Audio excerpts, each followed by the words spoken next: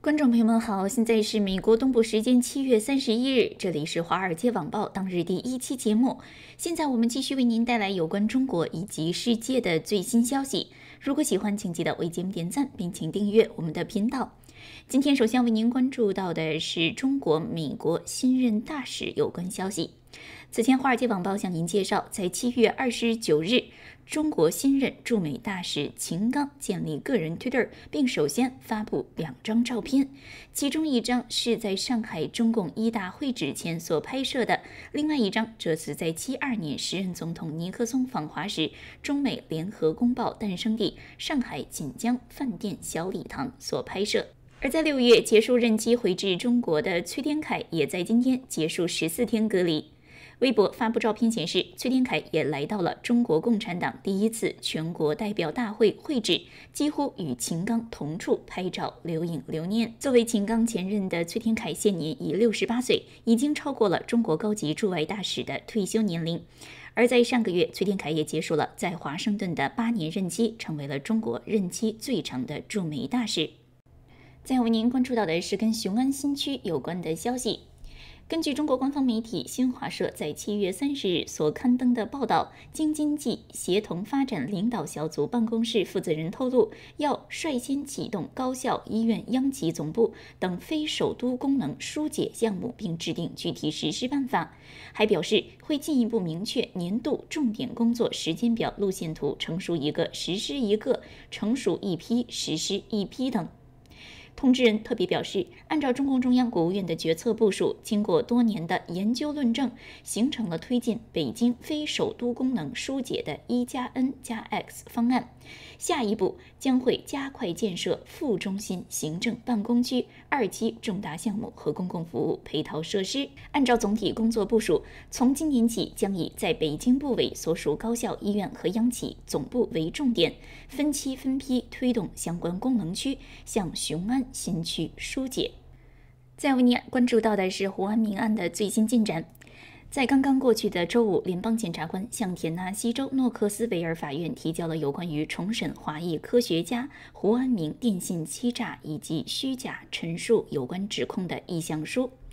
胡安明出生于中国，拥有加拿大国籍，曾是田纳西大学机械航天生物医学工程系副教授。二零二零年二月，被大陪审团起诉，声称他犯有三项电信诈骗以及三项虚假陈述罪名，其中主要涉及在接受联邦政府拨款期间是否隐瞒与中国大学的关系。此案被认为是川普时期启动的司法部“中国行动计划”，又称“中国倡议”，打击科研机构人员与中国关系行动的一部分。在今年六月的庭审中，联邦探员承认针对胡安明采取了一系列虚假指控、暗示和相关行为。陪审团没有办法达成裁决一致，联邦地方法官宣布审判无效，但是要求司法部在本周五前决定是否重审还是放弃此案。而就在周五，由联邦众议员刘云平所领导的近百位国会众议院小组联名致函司法部长加兰，对胡安明案中潜在的不当行为表示担忧，并敦促司法部对错误针对亚裔个体行为展开调查。此前，《华尔街网报》向您介绍，亚裔推进正义协会执行会长强调，联邦政府的作为是对正义和民主的无视。审判暴露了对亚裔美国人和亚裔移民的调查、监视、起诉存在严重问题。再为您关注到的是跟新疆问题有关的消息。根据来自彭博社的报道，新疆新闻发言人徐桂向在周五在北京就新疆议题举行的记者会上表示，欧盟的外交官不允许进入新疆，是因为欧盟方面提出了所谓不合理的要求，比如要求面见包括伊利哈木土赫提在内的维吾尔族在押人员。因此，双方就欧盟外交官赴疆举行对话没有取得重大进展。徐桂相在记者会上说，他们要求会晤伊里哈木还有其他的罪犯，这是对中国主权的不尊重。鉴于这样的思维和先决条件，中国不支持在这样的基础上安排访问。伊里哈木图赫提是维吾尔族学者，二零一四年因所谓分裂国家罪名被判处无期徒刑。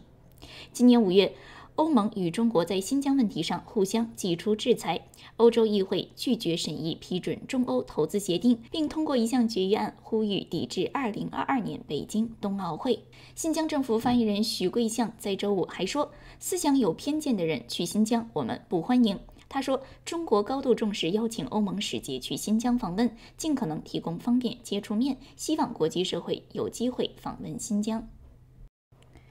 在为您关注到的是一本新书中所披露的内容，有一本新书叫做《以多打少特斯拉、马斯克以及世纪赌注》，在刚刚出版。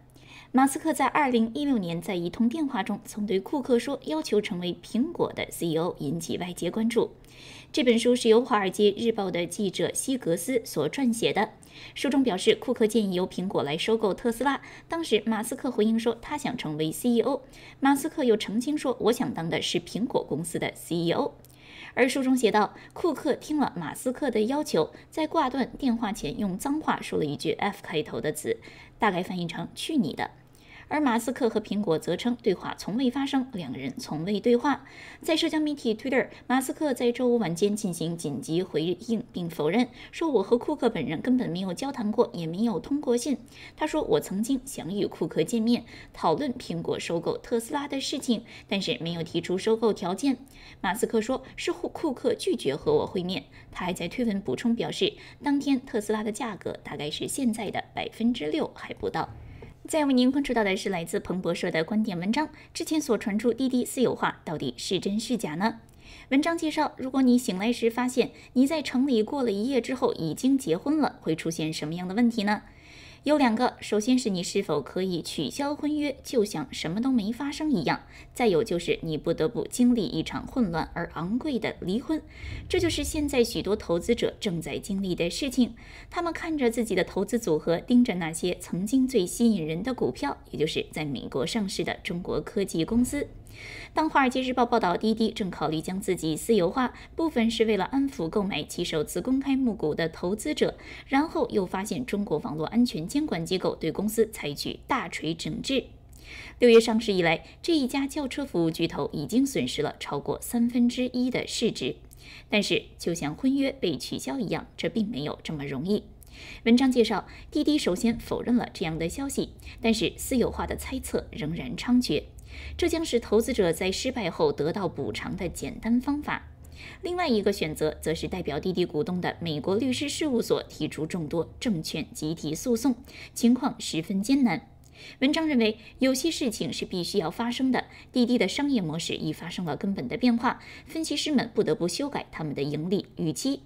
作为中国打击的一部分，监管告诉公司必须要从移动商店删除程序，停止增加新用户，这就切断了滴滴在中小城市扩张的动力。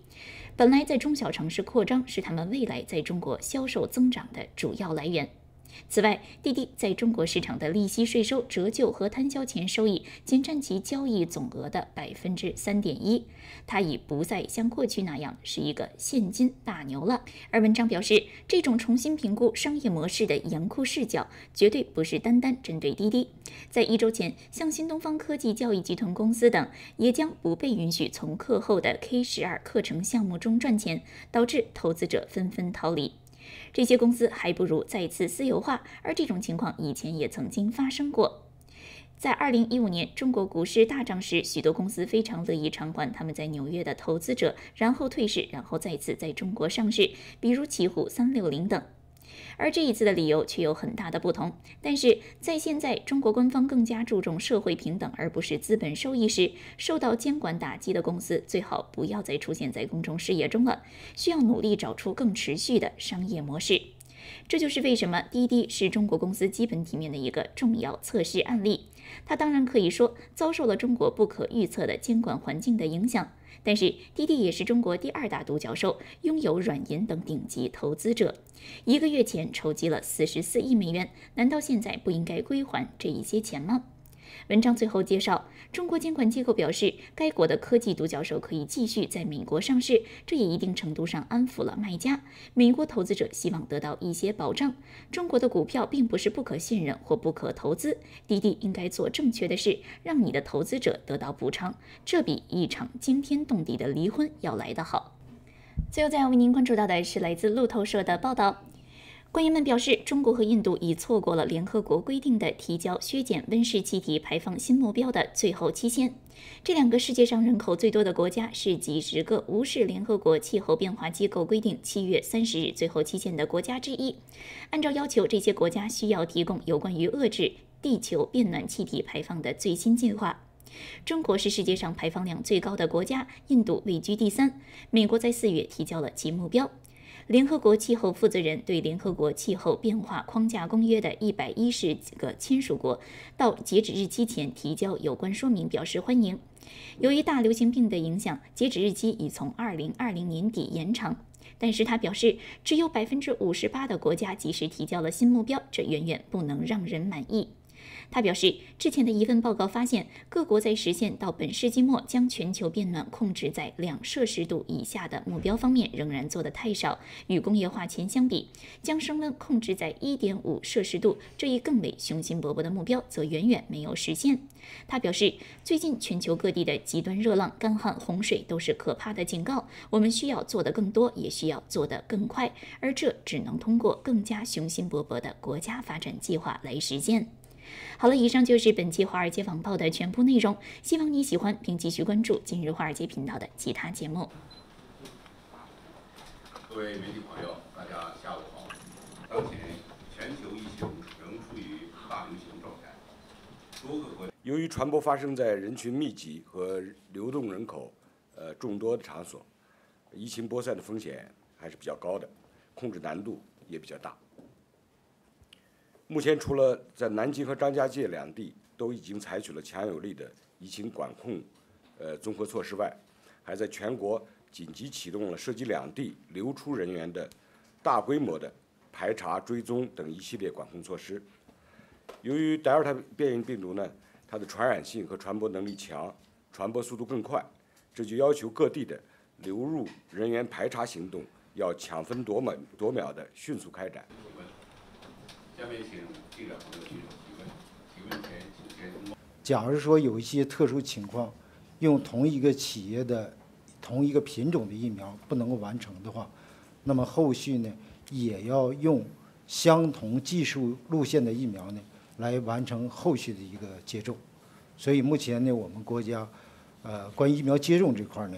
呃刚才你说的混打方面呢，我们还是要按照原先的规定呢，不能混打。问的个点，